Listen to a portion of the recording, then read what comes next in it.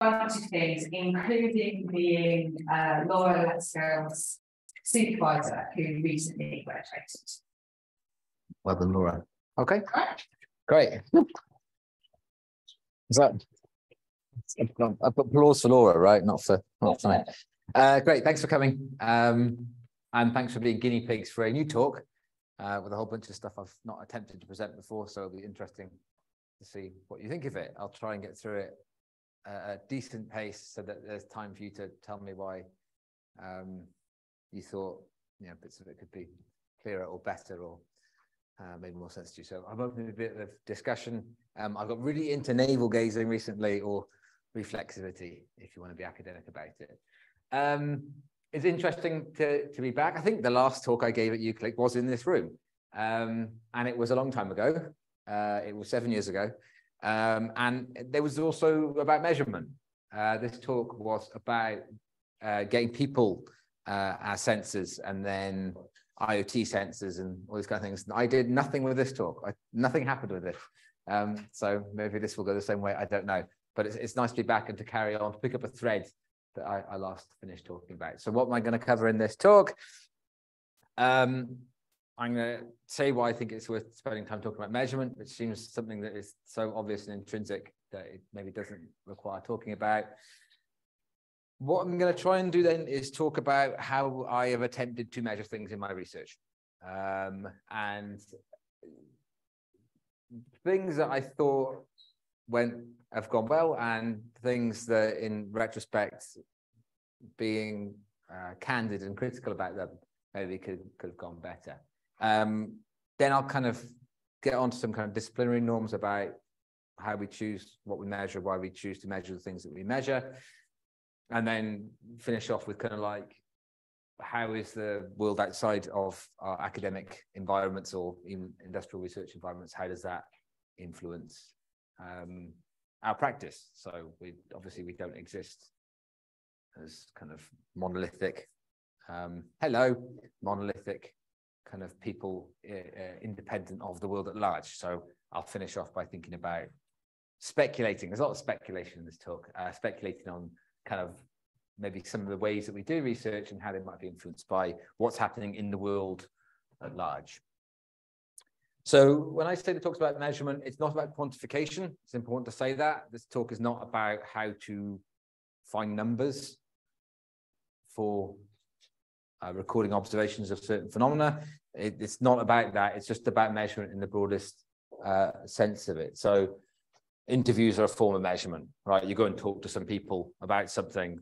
That's still a kind of measurement. It's not quantified. You're not going to have a, you know, the number of times they use a noun or whatever but it, it's still a form of measurement. So this is not about talking about the quantification um, of our research. It's about how we do measurement, whether we're doing uh, participatory design or we are doing psychology, cognitive science experiments or whatever. It's any kind of empirical work. Um, so all kind of empirical research in human-centered computing. Not all human-centered computing research is empirical. Not all of it involves having observations about the world, but most of it does. If you go through a CHI proceedings, most of it has some kind of empirical component and the kind of set of things that I'm talking about in this talk is all of those things. So obviously when I talk about my own work, my own work is like a tiny, tiny, tiny sliver of all the different ways you could try and measure things. Again, this maybe this is kind of telling you all to suck eggs. I mean, you all know how to do research, um, but I've spent a lot of time thinking about measurement the last few years. It's a really important part of what constitutes our contribution to knowledge. So sometimes you might make methodolo methodological contribution in your work. There might be a certain developing a certain measure, um, but also the extent, the kind of uh, the power of the contributions that we can make with our work is significantly tied to what we measured, how we were able to measure it, and whether we did a good job of that. So hopefully familiar with the idea of construct validity. Um, construct validity is the extent, often there are things out in the world that we want to measure, but they're immeasurable. Um, you know, there are certain things about how people think that you can't find even if you cut into their brains and put probes in there. You couldn't do that obviously for ethical reasons, but you still couldn't find out the things you wanted from inside someone's head by cutting their head open and looking at it. Um, so always when we're doing any kind of empirical investigations, we are trying to measure something that we may not be able to measure, and instead we measure something, some proxy of it, or something, you know. So when we try and measure attitudes, we might develop a scale or inventory that asks people a bunch of questions. We can't actually measure the attitudes. What we can measure is a proxy of that using some sort of scale and scale or inventory. Um, the actual phenomenon is not accessible to us with, with any measures that we, we have, so we develop these proxies um, and use those instead. And that construct validity is the gap between the thing that we are able to measure um, and the thing we would really like to measure. So hopefully this is all stuff that's familiar to you when you, you think about in, in your own work. So we, there, there are limitations on what we can measure. I'll talk about some of the why we have some of those limitations as the talk goes on. One of the main things I want to talk about is the fact that the gap between so sometimes there's a gap between what we can um, what we can measure and what we want to measure and we go like we maximize completely a kind of scientific utility. So like something like the Large Hadron Collider is a spend all the money we have to try and get as close as possible um, to measuring the thing that we really want to measure, right? To minimize that construct validity. They go kind of go all out on that. They don't make that many compromises. Um, unfortunately, not all of us have like tens of billions of pounds supporting us. And so the decisions we make about what we measure are usually a lot more constrained. So we can't often measure the thing that we want to measure. Can't measure the thing we want to measure because it's not measurable. And we often can't measure the proxy thing that we'd really like to be able to measure because there are resource constraints or ethical constraints. Um, there are other constraints on us that prevent us from, from measuring the thing that first proxy measure. And so, so instead, we're left with measuring this kind of second order proxy measure, which is we can't get to the proxy measure because reality gets in the way of it which is itself one step removed from the actual phenomenon that we really want to measure in our research. Okay, let's try and make this a bit more concrete rather than uh, me whispering on. Uh, so to make this kind of discussion, these kind of constraints on this gap in our construct validity, the, the gap between the thing that we really we were able to measure and the thing that we really wanted to be able to measure, I'm going to look at some of my own work um, uh, to think about what kind of stopped me in that work achieving a better construct validity, a better match, a closer match to the, the actual phenomenon um, I wanted to measure. Why did I end up having to compromise? Um, and, you know, what were those compromises and how did I make decisions about those? And I've intentionally chosen work that I led on to do this, um, partly because I have a greater insight into the, the actual decisions that were made and those compromises. Um, but also it's kind of a bit, bit, bit of scab picking maybe. And so it's better to do that with work you led on than, than work your colleagues led on. Um, so you don't end up falling out with any, anyone. So the, the ones I've chosen are ones um, that I've led on and therefore I bear the main responsibility for the compromises that were made um, in, in, in the research. So here's the first one. This is uh, about in making inferences about interruptions. Um, this is a paper from 2016. Um, so it's quite a long time ago. Uh, and the question, the essential question of the paper is how do people doing online crowd work interleave their various tasks? So crowd workers, they make money by doing lots of small tasks.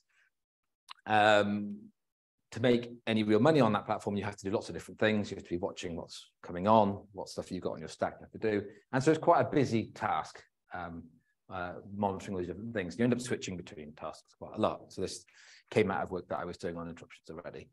And this paper was kind of torture, completely torturous. I think it's important to have this kind of higher level context of this kind of uh, uh, practice of, of producing some of this stuff. Um,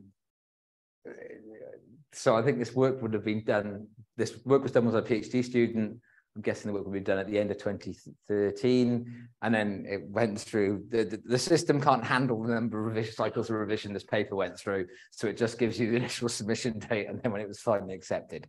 So it was a bit of a torturous process um, uh, getting the paper out.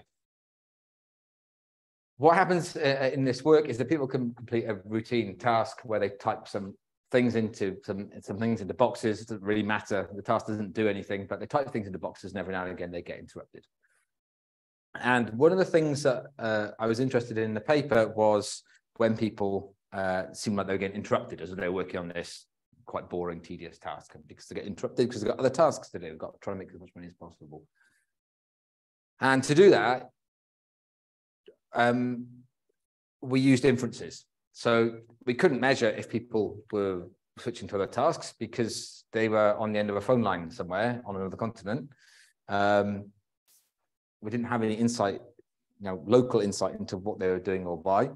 Um, and so instead, what the task did was monitor some browser events to make inferences. So if the task got left for a long period of time, um, this would this would start to stack up. So you know, when people working through this task, if they paused for a long time between maybe doing this one and doing this one, we make a guess that that was a very long period. They spent 15 seconds from going from, from this task to this task. They probably were doing something else rather than staring at the screen for 15 seconds, not doing anything at all. They might have been. They might have been. We don't know.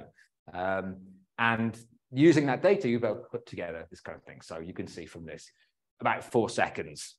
When you finish one part of this task, you move to the next one. It takes about four seconds to move.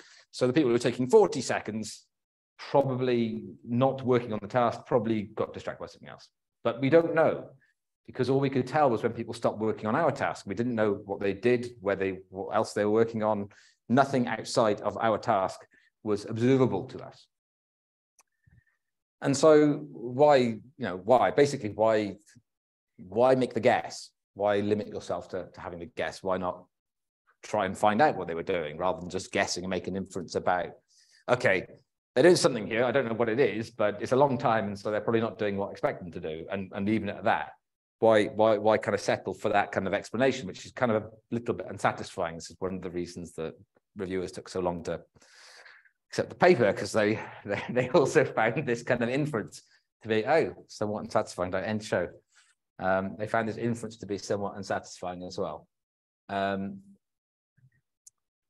so constraints. So so why why did I measure this thing? So ideally, the kind of um, the true phenomenon is what were people doing on their computers and switching tasks. So if I stood over them, but I was invisible and they didn't know I was there, then I could have got closer to the true phenomenon because I could have watched them at work. I could have watched what they were looking at. I could have watched how they moved between the applications.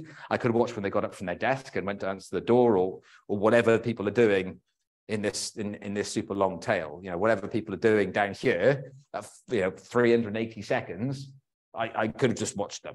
So that's the true phenomenon that I, you know, in a, in a, in a fancy world, I could have monitored. Obviously, got nowhere near, nowhere near that, right? This is nowhere near that. This is just the best guess. Uh, it's uh, it's a, just purely purely an inference. So why did I settle on that? Why not do a better job of it? Like why not try and get closer to ideal, even if the ideal is impossible? Why settle for this this inference? So uh, one is ethical. Um, so there's a kind of obligation that's incumbent on us when we're doing research not to collect vast amounts of data that we don't need. Um, and at the point of uh, uh, designing the study, we weren't actually sure what measures were going to be most useful. So we could have collected more invasive data, but would that have told us more about this phenomenon? Unknown at that point. So would it have been ethical to collect vast amounts of data that we didn't know was going to be useful or have any kind of explanatory power? Um, that's like a really simple one, which is that I did this research while I was doing my PhD, and this was not my PhD research. Um, like that matters, right? I didn't have five years to go build whatever system or invisibility cloak would have been required to do this research exactly as I wanted. And I was a PhD student doing it as like a side project. And that had resource constraints on my time. Um, like that was a material consideration. Like it's not, that's not a scientific consideration, of course. That's not about, you know, good science or anything like that. That's a human, you know, it's a human constraint or limitation, which was I didn't have time or resources to do something better. Like that's uh, you know, is and and these, these things matter. These things matter in, in in thinking about how the our research works out because it's it's rarely perfect. Um, and there are always compromises. And I think one of the things I've been interested in the last few years is interrogating those compromises and working out which compromises are acceptable and which ones are not. So this compromise, I'm like completely comfortable with it. Would the paper have been better if this paper had been the product of a three-year postdoc where I was just working on this project, um, you know, it, this this I'm, I'm very comfortable with this as a compromise because I couldn't have done anything different at the time. There wasn't a better option. That was just the, the situation I was in when I was trying to do this research. There are logistic, um, uh, logistical, not logistic, not regressions, um, logistic, uh, logistical challenges of deploying outside the browser as well. So if I built a tool that could have been, been done some more invasive monitoring and recording and maybe got me closer to that ideal scenario of being the, the invisible fairy on the shoulder, um, could have done that, but that would have been logistically challenging to produce the software to get participants to put it onto their machine, convince them to do that. Maybe some ethical concerns about that as well. Do you want to install some spyware on your computer to participate in my study? Hmm. Um, so that would have been difficult as well. It's not impossible. This could be done, but this comes again back to these resource constraints as well. So there's a logistical challenge of trying to deploy. So the software we used was only in the browser, all ran in the browser. That's kind of easy. They navigate to a web page, you get the data. You don't have to ask them to do anything or administer anything or control anything. So that's hard. So couldn't kind of couldn't really solve that, especially not with the the limited time. So that then became a constraint as well. And then there's kind of epistemological cons- constraints still, where if I had maybe built some sophisticated surveillance software to do it, still couldn't have been the fairy, right? So I would still have fallen short because when the people get up and go here, if this is, you know, over here at, at, five minutes, if that's them going up to feed their cat or whatever, I still couldn't have observed that. So even if I had done a lot of engineering, say, to build something that was much more sophisticated in terms of what it could measure, I still would not have been able to measure. I was still being far away from the actual phenomenon that I wanted to measure. It was a whole load of, so still making inferences, right? So, you know, as it was, I made a bunch of inferences on kind of sparse data. And if I had built something that was more sophisticated, I still would be making a whole bunch of inferences on sparse data. So then the question is, would the inferences on the somewhat less sparse data, would, would they have been much better than the, the inferences I made on the on the more sparse data? Don't know. It's not possible to say because you know didn't run the didn't run the other study. What would an alternative be? Maybe build a browser plugin. Um, like I said, and people have done this for, for studying workers in this context, these crowd workers, built browser plugins. Um, but then there's that, that trade-off. So you've got the you've got the logistical challenges. You know, you've got the difficulty of building this tool, the resources of building the tool. Is it going to work on all the different computers? Is it going to collect the kind of data you need? Um, you get more granular data, but excuse me, is that trade-off worth it? Would you learn more? would, would, would, would we have found out more if it had a browser plugin that told me which windows they went to, rather than the fact they just left the task for some period of time? Maybe, maybe, maybe the study would have been better if we'd done that. I don't know.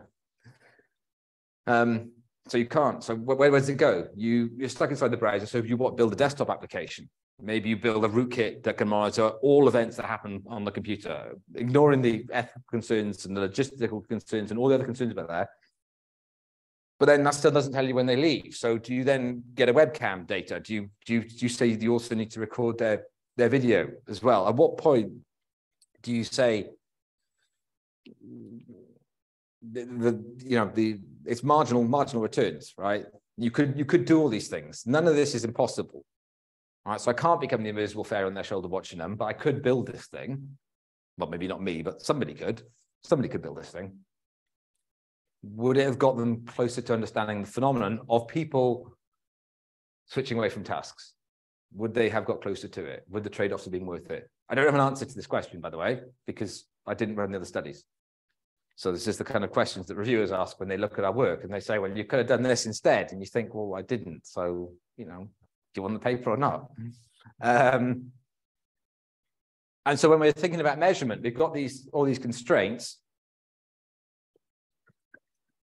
these constraints then also they're mapped against the actual scientific questions of like what do we need to know so we're managing the kind of the fact we can't do the things we want to do but at the same time are the costs of getting closer it's kind of asymptotic right you get diminishing returns on the effort here would you get any closer to the question would you would you be better off for the extra 10,000 hours to make this happen would you have been able to better answer the question I don't know. So I there is no answer to this. I'm just think about your own research. What could you have taken from that, and how much work would it have been to make it slightly better, and would it have actually changed the outcome? These questions you can't answer them. They're just just ones to kind of ponder and think about. Reflexivity. Um, Here's another one. Um, just to show you I've not really learned anything in, in the intervening years. This one is a paper from this year. Um, what happens when digital services close down? Um, you know, ones you rely on, what happens if they they close down? Um, and it's a survey with qualitative analysis. So the last one was a quantitative collecting numbers thing, and this was a do a survey and then do a qual analysis of the of the survey responses. What are the constraints on this one? So there's an ethical constraint. So it would have been uh, any kind of hypothesis testing would have been kind of questionable here. So we didn't. This is a very exploratory study. There's not really any. There wasn't really much research on this, or there isn't much research on this. So it's very difficult to formulate any kind of hypotheses to test, for example. Um, so going and doing hypothesis testing when you have no idea what you might find or why you're doing it, maybe there are ethical concerns about that. You set people up in experiments even though you've no idea what's going to happen. Again, that comes into the collecting random data. Uh, is it is it defensible? Resource constraints, an opportunity sample. So I had the people who participated were the people who self-selected themselves to participate. Like I didn't have a, I had some budget for a kind of prize raffle for this, but I couldn't pay all the participants 50 quid to respond. And there were uh, protocol reasons why I didn't want that to happen. I didn't want to kind of incentivize people to participate for the sake of participating. I wanted people who were interested to participate. So that's a, that was a resource constraint as well. And there's a logistical constraint, which is this was spare time research. So not PhD student anymore, but this was like not, it's not a research grant. This was just an idea that I had and I started working on it. So that's a constraint. I have even less time than I was a PhD student. So it's an even bigger constraint um, than it would have been um, uh, a decade ago. And then, yeah, this comes back to the kind of ethical as well, is that there's just too limited in terms of the knowledge of the context to be able to kind of operationalize measures of something in this context of like positive attitude or negative attitude or anything like that. We just didn't know enough about how people deal with this phenomenon, the scenario, to be able to operationalize some kind of measurement of how they feel or what they do or how they think. We just didn't have enough context to be able to do that. Um, so normally I know this is often frowned on, but this is a, a short excerpt. I'm not going to complain about the review at all, but I just, this is really interesting. It's completely relevant. I just find it really interesting. So one of the things that we did, because there's an opportunity sample, uh, some people might have had an experience of having stuff they've used and just kind of die on them and be taken away. And some people who were like, oh, this is interesting, I'm going to participate, may not have had that experience. So in the cases where people had not had that experience, we asked them to speculate because we had an opportunity sample and we weren't going to turn away half the people who turned up and say, I'm interested in your study, but I've not experienced that. And no, you can't participate then. I mean, you might do that. You know, there are psychology studies, for example, that set up in that way. Like you are not eligible to participate. You do not have correct vision. You may not participate. Um, but given an opportunity sample for a spare time research project, I wasn't going to be like, no, you can't participate. I'll just, you know, you know, you can't do it. Um, so I was like, yeah, you can participate and just you can speculate, right? If you've experienced it, tell us what happened. And if you can't, then just speculate. And one of the reviewers was, was really, really mad about this. They were not happy at all. Um, so they said, um, so asking to imagine things is like a pretty standard HCI research practice. Like there are loads of methods that ask participants to think about or speculate on or imagine that. So like it was a bit of an odd comment to get because there's like in the final paper which we published there's like now like 20 citations of random papers where they ask people to imagine to do things. But um, what was interesting to me the reason why i included this is not just of a gripe about it is because what i found it interesting is that the comment this is not a valid approach was was really interesting to me. Um, so it's a kind of form of measurement right you're measuring people's spec the, the, attempt is to measure people's speculations about what they think would happen. Um, this is not a valid approach so that was really interesting. So i think so far i talked about the construct validity as being a gap which can be our variable variable size. Sometimes we're very far away from the phenomenon we want sometimes we're quite close but i generally don't think of it as like a binary thing like this is not a valid approach. Like yeah, I mean, I suppose you can have construct validity of zero, which would be not a valid approach. But I kind of, it's an odd, I, I find it an odd comment anyway, um, to say it's not a valid approach. Um, especially then matched up as a more valid approach. Has this died? Oh, they're all out of order. What's happened to all my highlighting? Um, the, the, the review then said a more valid approach, which is interesting because if it's not a valid approach at all, something more valid than not valid would still not be valid. Um, so uh, try and deconstruct reviews like this. It's interesting. Um, oh, it is working. I just that screen's so dirty I can't see it. Okay. Um, so a more valid approach would have been to ask participants to remove an app, blah, blah, blah. Um, another measurement thing for any length of time. So if I'm in particular uh, time of zero, does that mean a time of zero would be something we could measure here? Um, uh, to consider how this made them feel. So I, I, I mean, the reason why I, took this quote and the reason why I, mulled on this and thought about it was because it comes down to the core of what the paper is trying to do, which is attempt to measure some kind of phenomenon and make some kind of statements about it. And this is not an atypical review, right? You've probably, if you send papers for review, you've had this experience. You send it and they say, oh, you shouldn't have done that study. You should have done this other study. I mean, I've written that review myself. Your study was terrible. You should have done the one I just thought of um, in the last five minutes without considering any of the constraints you've got on you um, when you're trying to uh, formulate your, your research protocol. Um, but I thought it was, it was I, I, just thought it was really interesting in terms of thinking about what I'd attempted to measure. And then, well, one being told that that was just not valid, which was, like I said, it's kind of like a less valid, or, you know, there are better ways for sure, but not valid, I thought was quite a strong statement about how things could be measured in this context, especially because it's exploratory research, right? There's no kind of established protocol for, for, for examining this phenomenon. Um, but then the suggestion was to measure something for any length of time um, and consider how this made them feel. So it's a, a, kind of okay. Let's let's try this. Let's try R2's alternative. I don't know if they're R2. It doesn't. Yeah. I, like I said, I, I'm I'm not mad about it. The paper got published. It's fine. I, I just find it really interesting. So let's imagine um, we did what they said. But what they're proposing is basically a digital detox study, you know, where you get people to turn off apps and you see, you know, my mental health was way better when I turned off Facebook on my phone. Right, this is that's kind of study that people have done. There, there's quite a few of these. But clearly that's not the same thing. So that wouldn't remotely measure the same thing as you're in the middle of using a family photo sharing service that suddenly is turned off. Like it, it's not not the construct validity there doesn't map because the kind of proposed target phenomenon here is not the one we're interested in measuring in the in the study. This this is about how if you turn off apps, how do people feel then? That's not the same thing as services closing down mid-use. So it doesn't doesn't map. So not really usable as an alternative. And then more valid in what way? So what would the construct be and what is the phenomenon of interest? So um, you know, this is this is not just a different study in that it's a different way of finding a better way of finding the same thing this is a different study in the sense that this measures a completely different thing. The construct, you know, the construct validity here, and the questions about what this measures and what this would tell us, this is not a better study. It's not a more valid approach. It's a completely different approach that answers a completely different scientific question. Not the same thing at all.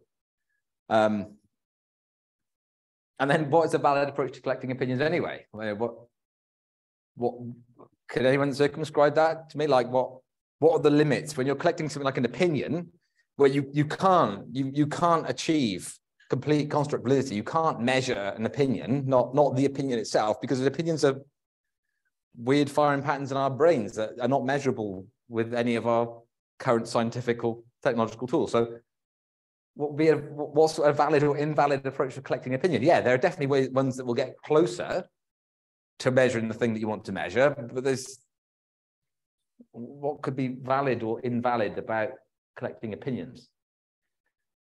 So we have these constraints, and then we go to reviewers and they give us other ideas which themselves have their own constraints, their own problems.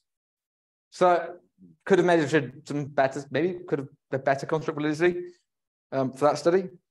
I don't know. I, I didn't get to run the other study. None of us do. So um, Last one. Some of you will have participated in this study. Um, this was a, a, 2016 paper, so back in time again. Um, and, uh, you know, the short links, like a bit.ly link or whatever, they're hard to type on smartphones. Um, had this realization looking at a CHI 2015 program. Um, so how could you design those links so they were easier to type on a phone? That's what this paper is about. Uh, did some Monte Carlo modeling, and there was an experiment that ran in a phone browser. And folks, UCLIC down in the fishbowl, they I put things up on a screen and they typed on their phone. Who in the room participated? Yeah. Um, so you got live participant experience. So uh, you type these random things. So it's kind of a bit of a weird experiment. So what are the constraints on what we can measure here? Uh, so ethical. So one way of doing this, one constraint we kind of put on ourselves was not to develop a, a kind of a drop-in. So one way you could do this, we develop a drop-in replacement keyboard which could take all the keystrokes. Obviously, hey, do you want to participate in my weird study in the fishbowl? All you need to do is download this program that lets me collect everything you type on your phone keyboard. Right. So I didn't go there. So that was an immediate constraint on, on the kind of, excuse me, uh, the, the kind of the granularity of the measures we could have. Guess what? This is also a random slide project. there's, a, there's a trend here. I, don't know when I get to present the actual research that's not a random slide project. Um, so building custom keyboards was too much. Like I didn't have the time or resources to go away and build Android and iOS custom keyboards that were all instrumented that collect all this data anyway. So even if it was ethical, I didn't have the time to do it right? Didn't have the resources to do it. Logistical, um, there's another constraint, which was it, it was gamified. So the idea was that in order to encourage participants to try and type these things as quickly as possible, um, which would give us a kind of floor for the or ceiling for the, the speed accuracy, it was gamified. So the people were competing against each other. So whoever could um, type these things fastest would would win, and uh, there wasn't any prizes apart from being on a leaderboard. So leaderboard. So you could win by being the top of the leaderboard. I literally printed out leaderboards and stuck them on the door. Um, but this requires synchronous group sessions. So I had to get people in the room at the same time and do this weird little task. So that was a constraint as well. So that limited how much data I could collect, variety of different participants, because I, again, without resources for a random side project, I, I couldn't go and maybe hire a room and then recruit, you know, a kind of stratified sample and get people in and give this a go. So basically people at UCLIC participate in the study. Um, and yeah, again, the kind of in terms of, uh, of knowledge, didn't have any about kind of optimization strategies. So it was difficult to justify building more complex instrumentation or more complex measures because didn't really know what people were going to do with this, didn't know how how, how it might work. Um, I don't know. Yeah, this was also it's resource intensive. Um, almost no one has read this paper. So as it turned out, it was the correct approach not to spend too much time on it. Um, and one of the things was uh, with this was that the reason I'm telling you about this, is not just uh, randomly, once they typed it in, they were asked to rate, you can't see it over here, but you can over this side of the room. So apologies this side of the room. There's a slide on the screen and it, you, you used it to to say how hard or easy you found it. So if you find it hard, you slid to the right, and if you find it easy, you slid to the left. And one of the participants, and this is uh, the thing about doing doing research on your research colleagues, um, is that they often have opinions about your research. And uh, one of the participants mentioned they, they basically thought this thing could not measure anything about the subjective experience, not subjective experience. And I've basically been thinking about this ever since, even though nobody has basically nobody has read this paper. I still think about the comment from the participant, not in a kind of like, oh, I felt so bad kind of way. Just like I've just been trying to think like, well, yeah, you're kind of right. How would I? What should I have measured? What would have given me a better insight into kind of the subjective experience of doing this task, rather than this weird little slider? And the conclusion I came to was just don't do that. Um, it wasn't there wasn't a, a, better or magical option for doing that. Um, you know, the, the participants saying you can't measure that thing like this the logical answer is not to like do something that is more sophisticated or has some nice experience sampling things. You just don't measure that thing. Um, so we had all these behavioral measures. We had all these you know quantitative timing stuff. Why ask for this kind of subjective experiencing? What was the rationale for it? Um, how would it be useful in answering the research questions which were much more about speed accuracy trade-offs than about subjective experiences of typing things? So did I include it? I included it because I could. And that's it. Like really being super honest, at the end of the day, there was not a good scientific reason for putting the slider thing in. It's just that between these trials, I wanted people to have kind of something to do. And I thought, oh, I'm more data. And if you know, reviewers complain about subjective experience. I'll have some data to say, oh, people find the hard ones hard and find the easy ones easy, which is in the paper. The modeling showed that people found the hard ones hard and the easy ones easy. Like it didn't really tell us anything at all. But it was in there because it could go in there. It fit on the page. If you take it away, it's just, well, that's all you get on the page. It doesn't look better when you've got this other stuff to do. It gives someone something to do with their thumb. There was not really a rationale for it. It was just in there because it could be in there. So, you know, the answer to the participant a decade later is like, no, it can't measure that subjective experience. I just shouldn't have done that. It didn't add anything to the scientific question. So there's not really an alternative. So, so sometimes the thing is just not to measure the thing because it's just a waste of time and irritates your participants. Okay, so I got like five minutes left. Is that right? Yeah. Yeah. Okay, good. That's about what I need. Um, so that's like a critique of like you can do this with your own work i'm sure like it's not I, I think it's just not me that's a complete failure in life like if we all dig through our papers and dig through well why did i do it like that and you're like i don't know like my supervisor told me i had to have a proposal ready for next week and i said i said i'll measure that thing and they said oh that's interesting and that's what it was there wasn't any more reason to than that so how do we decide what to measure then right so in this ideal world you know we we kind of uh, the, the, you know the magical universe of science, we we measure the thing that needs to be measured to get us to minimize our kind of uh, to maximize our construct validity, to minimize that gap between the phenomenon we're interested in measuring and the thing we can measure. And we would just, as good scientists, we would just always seek to minimize that. Um, everything else is a distraction, and all our science proceeds in that way. But of course, that's not how any of our research takes place. Yeah, and, and the philosophy of science research, like Latour did the studies of labs And like are they mythical places? No. It's just a job and a workplace and the way we produce scientific research is pretty similar to how we produce cars or anything else with a few bells and whistles but it's people in rooms talking about things and working on things that kind of it's not magic right? It, it's human it, it, they're all human constraints. So this kind of gap between what we measure and what we'd like to measure is sort of these kind of i call them irrational um, and, and in this paper i published this last year last year um, I, I kind of qualify this. I don't mean irrational. Irrational is a really loaded term, but basically, that gap between what we do decide to measure and the thing that we really want to measure is not just a, a limit on what is possible to measure. It also includes a whole bunch of other things like I was tired. Um, I didn't have any money left. My research contract was about to finish. I had to complete my PhD and defend it. And all these things go into producing this gap between what we do actually end up measuring compared to what we would like to measure. It's not like a, you know, a purely utility maximizing thing where you think, what would be the best measure we could possibly do? Because if we go back through our own, you know, all our research, you could probably always think of something you could have measured that would have got you closer to the actual phenomenon that you're interested in. It just would have cost you more effort or more money, and you didn't have a postdoc, or you, you know, you had these other constraints, or you just didn't know. You missed some papers that told you about it, right? These are all human things. It's not magic science, uh, special, you know, uh, the things that mean that we get a car that doesn't work properly, uh, breaks down after we buy it, brand new off the forecourt. It's the same reason why sometimes we measure the thing that we this is a bit crap. Yeah. So it, it it's not.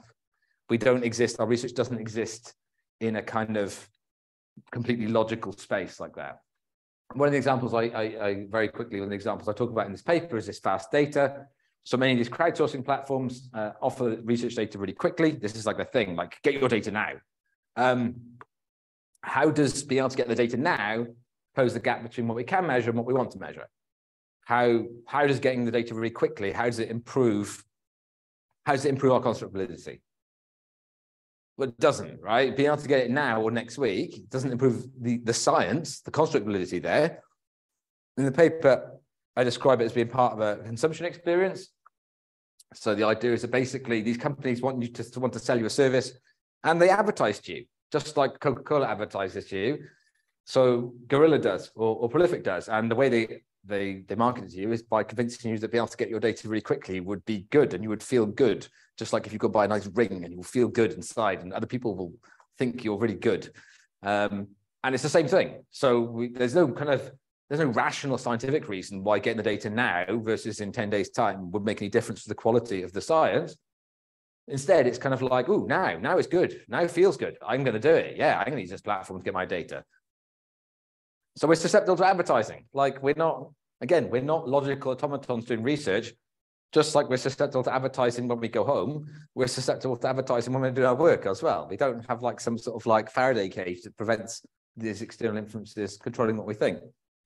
And there, you know, there are other the other kinds of influences like publish or perish. So why would might want it quickly?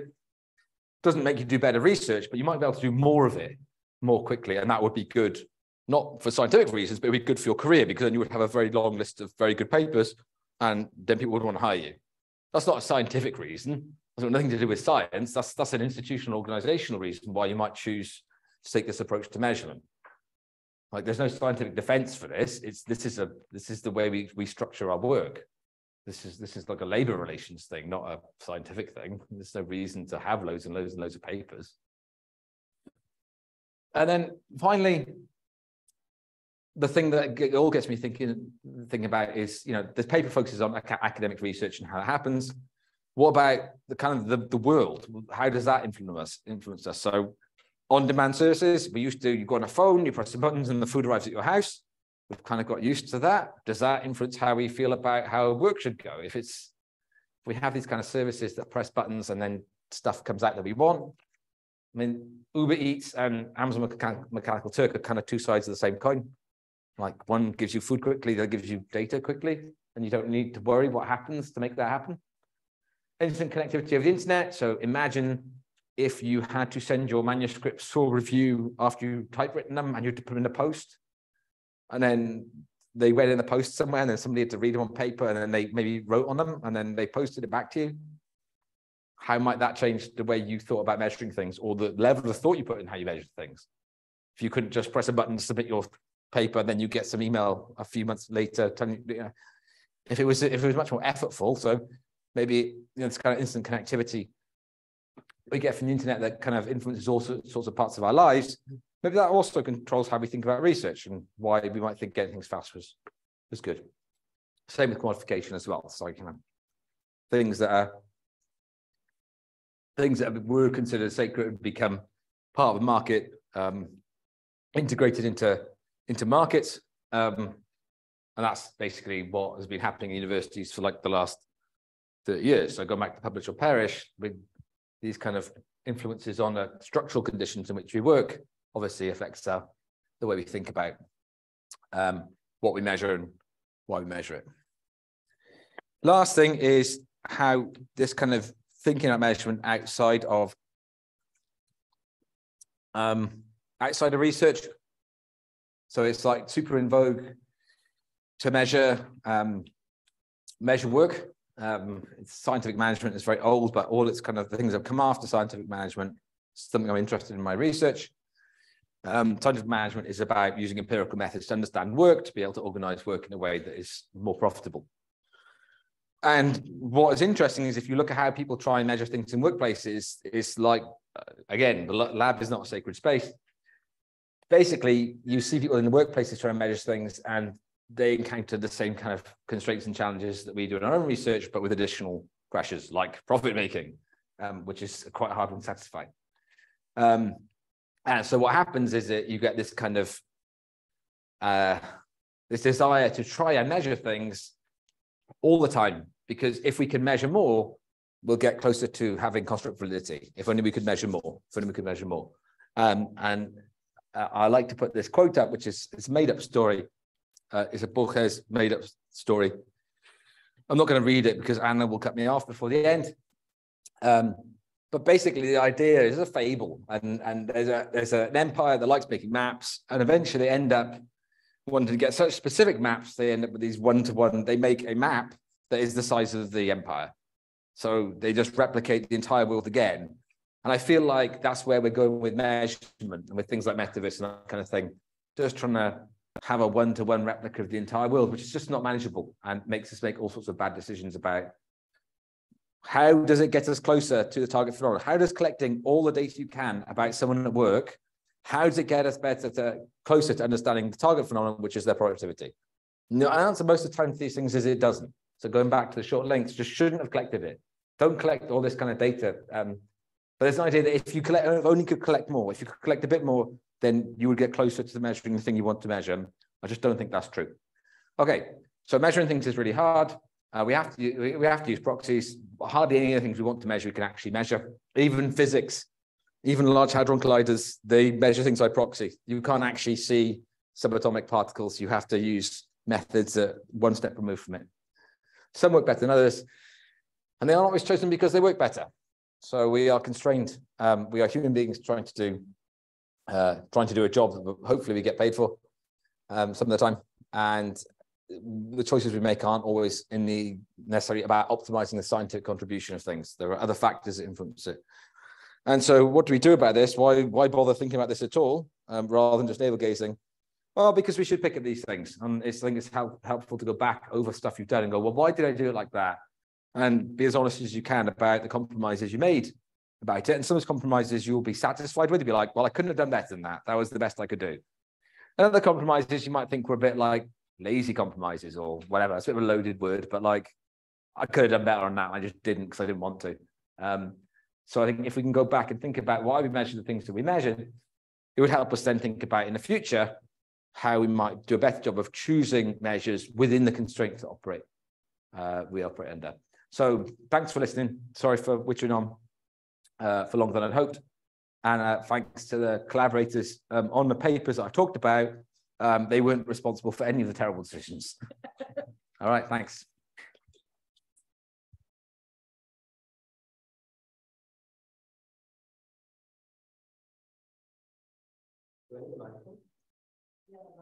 You pass it around? Oh no, I need it to answer the question. Okay.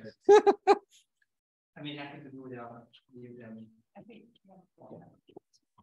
Hi, um, that's really interesting. And I have a lot of comments. If you're interested, we can yeah. set some, some, some time for like offline. But two um, quick ones. Um, one on the data speed, yeah. the fast data kind of thing. I see all the arguments you, you put forward, but yeah. I also think that very closely related to what you said earlier in the talk, a yeah. factor is that if it takes you 10 minutes rather than 10 days yeah. to collect the data, then it means that you have like nine days, 23 hours, and 50 more minutes yeah. to do other stuff. Yeah, completely. And when you have like a project, for example, a student project, which is like bound in time or your yeah. contract, that can make a massive difference. Yeah. Yeah. So 100%. So there, there are, that's, the drivers to do that, the those constraints, they're not scientific ones, right? The constraint of the student has two weeks left to get this data, or they fail their project. That's not really a scientific, you know, that's that's well, not about getting close to the measure. That's about them being able to produce the work in the time available, which is a different constraint. Well, it, that's one way to look at it, but you could also look at the fact that, like, if I have more time for other things, I can spend more time, for example, testing the stuff yeah. that I'm doing, and that could potentially yeah. improve the overall quality. Yeah. So it's, it's not that like because you collect data faster, it's better for the data that you collect, but yeah. the fact that you have more time for other things could have, could be beneficial in in general. Completely, and it might. So having more time might free you up to think more carefully about some other part of your protocol that you could then improve with the extra time, which would then produce a better scientific output. Yeah. Definitely. Yeah. So in the paper, I talk about it's we always use these kind of uh, commodity tools. Um, like that's what methods research books are about, right? It's you don't have to start again working out how to do systematic analysis. You go and read a Braun and Clarke paper, and then you do what they tell you to do, and then you have a result that other people will accept as being good, and that saves you a lot of time. Because if you were to invent that by scratch, you would never do your research. You would spend all your time trying to work out how thematic analysis might work. Um, so you definitely can. You, you know, it, it, it, it, it's not, yes, trying to kind of atomize it like that maybe doesn't make, doesn't always make sense. In that it could free you up elsewhere to do other things. And we always, you know, the computers we use to write our code is, a, you know, we, we never start everything from scratch. We never do anything. Yeah. But it's about interrogating it, it's not it's not about judging. So I've used these tools just to be super clear. Like I've got lots of data through Amazon Mechanical, Mechanical Turk, and I was very happy with it. Um, I got publications from it. It's not about saying that kind of using these kind of commodity things is good or bad. The paper is about encouraging you to interrogate why you chose to do it. And if your decision is, well, I chose to do that because I could spend extra time on this other part of the project and it was better for it, that's a completely reasonable rationalization that has maybe maximized the scientific contribution you could make. So it's not about attempting to, you know, say we should all go back to being like cottage industry, people doing everything from scratch. It's not trying to say that. It's trying to say we should interrogate those choices and be prepared to defend defend them on their scientific merits as well. So why, you know, the student did a better project because they could collect the data quickly, that's a reasonable explanation of it.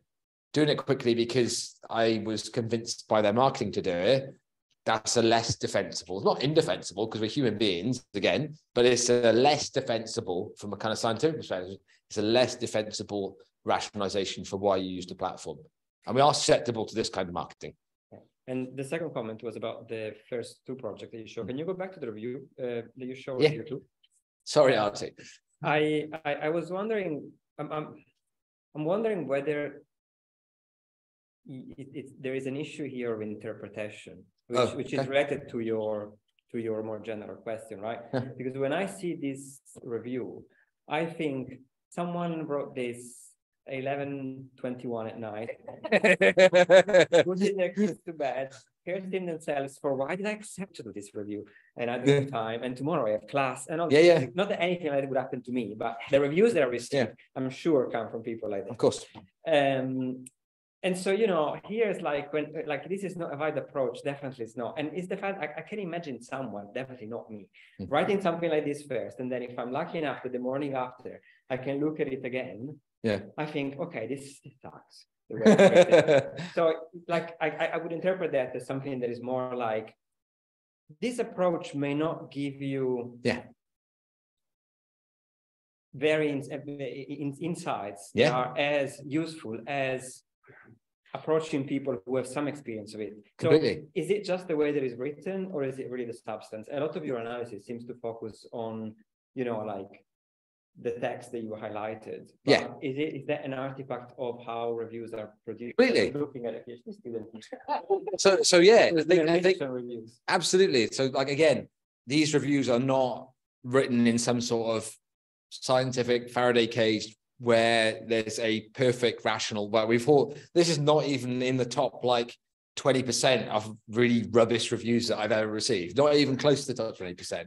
Um, it's less about saying this is a bad review or whatever. It's just the, the, the point I want to make by bringing it in is that sometimes we are fast and loose, and there are reasons for that. We're tired, it's late. We accepted this review when we didn't want to. We did it as a favor for the AC who we're friends with, and we don't really know anything about it. So we just kind of just stick some stuff down. Um, that's definitely the case. I think what I the reason why I, I thought it was interesting to bring it up is that if you do try to parse what is written, it, it I, I don't think this is what they meant. I think what they meant is what you said which is that there will be there are better ways of if you'd done this, you would be in a better way of doing it. Um, but that's not what they said. They said it wasn't valid, and a more valid approach would be to do it their way, which measures a completely different thing. And the reason I included it is is an, the, whole talk's kind of exhortation to think really carefully about measurement, and often we don't have time to do that. And this was an example I felt of, and I've been sufficiently self-critical in the talk, I think, that I can say that this is an example of someone who didn't think very hard about what they were saying with regard to measurement. And by being loose with it, they've said something that kind of doesn't make sense. And I've done that with my research as well, just to be really, really clear. So this was part of saying we measurement is really important to the work, and we should be really careful in how we think about it and, and treat it. And yes, the reason why the review, yeah, sorry, I'll, I'll shut up. Yeah. Sorry, Enrico. We'll talk more about it. Yeah, yeah, uh, actually, yeah, when you were presenting this bit, I was, in my mind, I was playing the devil's advocate okay. for our reviewers too. Yeah. And I was thinking, uh, this reviewer must be someone that, you know, subscribes the positivist or yeah. more objectivist paradigm of research. Yeah and in CHI, there are many paradigms. Absolutely. More, more interpretivist. Others are more towards objective measurement. Yeah. And I thought this is probably someone from human factors that wants to measure. Yeah. So I was thinking, well, he- I think he does have a point Okay. because you can actually question if you're actually making a measurement or more interpreting results from uh, qualitative data. So, you know, if you, if you kind of replace, if you, you know, frame all of that work in a measurement uh, approach, you might question, am I actually measurement anything, uh, measuring anything, or am I, you know, gathering insights from qualitative data, trying to distill and then interpret on them. And you can really generalize in the same way as you can with uh, a qualitative measurement study.